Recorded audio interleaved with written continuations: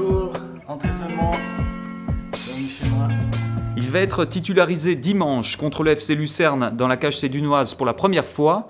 C'est la doublure d'Andris Vanins et ce week-end, une partie du destin de son équipe repose sur ses épaules. Je m'appelle Ken Fickencher, j'ai 22 ans et je suis gardien de but au FC Sion. Remarqué lors d'une rencontre internationale entre la sélection suisse M16 et l'Allemagne, il va ensuite tenter sa chance, très jeune, à l'étranger. En l'an 2000, je suis, arrivé, au Lausanne Sport, où j'ai fait la plupart de, ma formation là-bas pendant, pendant 4 ans.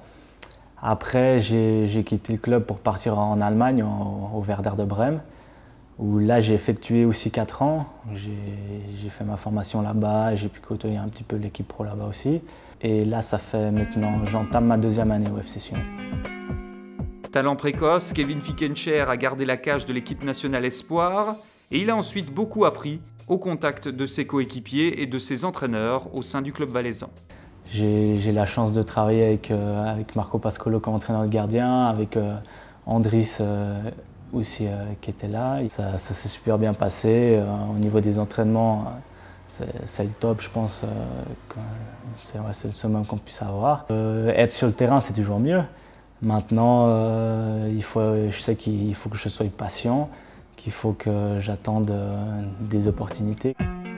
C'est vrai que, que, je me plais beaucoup ici, euh, à Sion.